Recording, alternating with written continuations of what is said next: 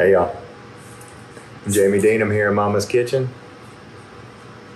This is Davis. This is our third son who just turned two. Davis, can you say hi? Hi. And so you know that we are a busy family. Uh, Jack is turning 16 this summer, falls in. He's back in school. Oh my gosh, Matthew's 11. Middle school football practices started. I've uh, blessed to be able to help coach, so I'm doing that. And then Brooke's got a million things going on. Today's a busy day, so Davis is here with Daddy a little bit, and we're gonna make a delicious sandwich. This is perfect for the fall time. We're talking about football season's coming, whether it's middle school, high school, or the University of Georgia. Go dogs! Say go dogs. Go dogs. Go dogs. Sick 'em. Yay. He's wearing one croc today, so we're just like y'all. We keep it together as best as we can. Sometimes we like to be barefoot, barefoot, barefoot. So this sandwich, y'all, is something great that you can prepare at the house. You can carry it to the tailgate. It's easy to reheat if you want to put it on a grill or if you have an air fryer. So let's get started. Davis, you want to get down? Can they have a kiss? See, oh, I love you. Ferbert, go find your brother. Go, go, go. So I got a big Pyrex pan here. 8 by 13. What is it, Teresa? 9 by 12. 9 by 13. It's a 9 by 13. Everybody knows that. I'm going to lightly spray that. And I've got a pack of crescent rolls. I love the crescent rolls. And I use them not as crescent rolls, really, but it's just a sheet of puff pastry that's affordable, easy, and versatile for me. I make a million different things with these. So we're going to pop one out. Let's find our line. Now, here's something that you might have to do if your pan is a little bit bigger than mine, you know, you can easily stretch this out and we'll pinch together the bottoms. So what we've done is we've taken eight crescent rolls and we made really one piece of puff pastry. So I'm gonna get this in. And then over here, right next to it, is everything that we're gonna put in our, our sandwich bake today. And I'm going with the original Holy Trinity, ham, turkey, and roast beef. I have a half a pound of each of those, and I have two eight ounce packages of cheese. Now I've chosen to use mozzarella and provolone because that's what my family likes. But if you want to use shredded, American, smoked Gouda, anything that you'd like, all the cheeses here will work. And then we're going to put together a really quick little flavor profile to sweep in there. But first, this is going in the oven for 10 minutes. Y'all stick around. It's a giant baked sandwich coming up. Mm-mm. Y'all look, I got my crescent roll completely done here. All right. Layer one of delicious flavor. I've got butter. This is a quarter of a cup that I've melted down. I have two, I think this is teaspoons of mustard.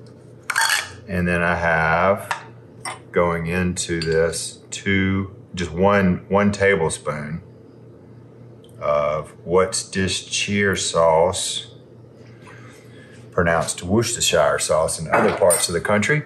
I'm gonna just give this a quick little spin through here. Worcestershire, butter, and mustard. Don't you know? As my daddy would say, we are cooking gas this morning. You can put that anywhere, Teresa. Thank you. Sorry. So I'm gonna put half of this on this crescent roll. And this is gonna bake into here. I get I did 10 minutes. It's browned up a little bit. It's a little soft in the center, but this is gonna be a soft sandwich when you see the amount of cheese that I'm putting in here. And plus we're gonna bake this again on the back end. So I'm real happy with 10 minutes here. Golly, that mustard is just gonna be so good in here. Now, like I told y'all earlier, we're doing big sandwiches. This is a pound and a half of meat. I went a half pound of ham, roast beef, and turkey, and I've got my eight ounces of cheese here. So I'm gonna do cheese first. All this is going on. Yes, all of it is going on. I'm gonna put my mozzarella down on the bottom, and I'm gonna layer my meats here. I'm gonna do some roast beef. Now this is really, you can make this three different sandwiches if you want. You could drag it all down to one end and you could say, all right, y'all, we got the top third is roast beef, the middle third is gonna be turkey, and then your far end will be ham. But since this is just me and y'all, I'm gonna do it the way I'd like to do it, and I'm gonna combine it all.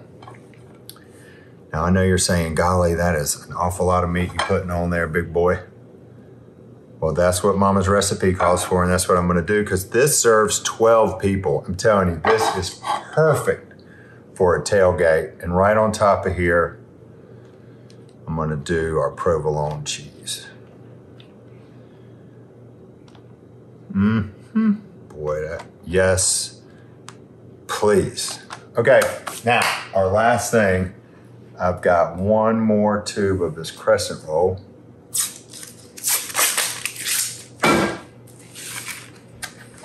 Today, the day that I'm filming this, we have 29 days until I get to go watch the University of Georgia play football. This would be a great tailgate sandwich. Perfect for a tailgate.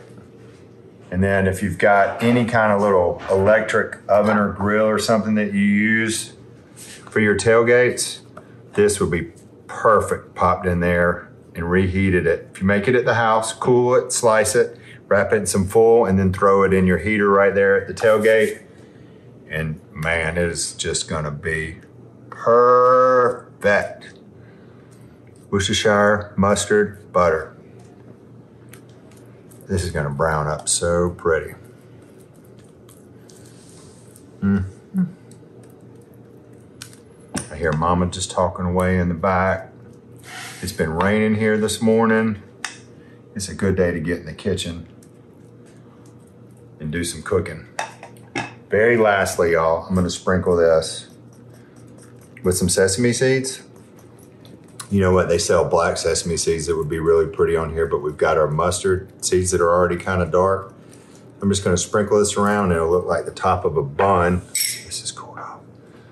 Little enough. Okay, so this is, ooh, it's still hot. So this, y'all, is now gonna go back into the oven for 15 minutes. Let's go.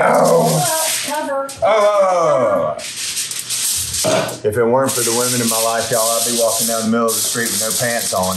Like Teresa says, cover it. We're gonna cover it with full, and then it's gonna go for 15 minutes. Ooh! Y'all look at this. I got a couple oh, things going on on the stove here. Lunch almost ready, Maddie. You ready?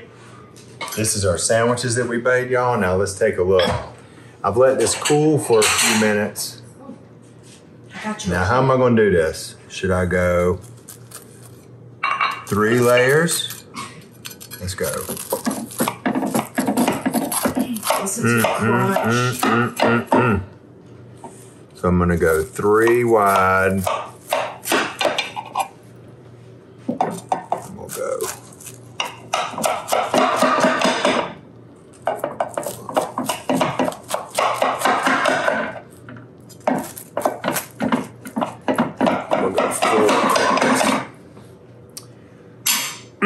I'm almost speechless. So I made these on this end a little bit bigger. So I'm going on this end. Let's see what we got here. Is it cut through? Ooh, ooh, ooh, ooh, ooh, ooh, ooh. Not quite there. You're teasing us. Come unprepared. Don't have a towel to handle this hot pan. There we go. Golly, Moses, y'all. I mean, takes a little bit of work to get this sandwich, but I bet every minute was worth it.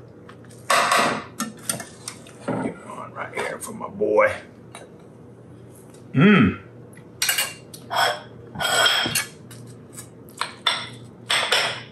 The thing about this is, you bring this to your tailgate, and it might not matter which team wins.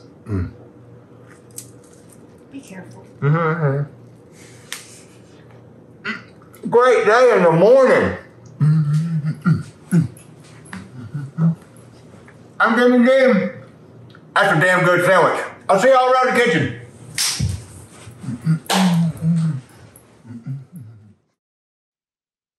Y'all, it's Paula Deen. Now, if you enjoyed this video, be sure to like it and click the subscribe button as well as the notification bell to be alerted when I post a video.